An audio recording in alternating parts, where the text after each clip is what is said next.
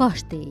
Első hallása ódivatúnak tűnik, pedig a kastélyok igazából épületek, amelyek itt vannak körülöttünk. Induljunk el egy közös erdélyi körútra. Ismerjük meg a grófi és nemesi családok által hátrahagyott épületeket. Vizsgáljuk meg azt, hogy a mai tulajdonosok hogyan tudják használatba venni ezeket az épített örökségeket.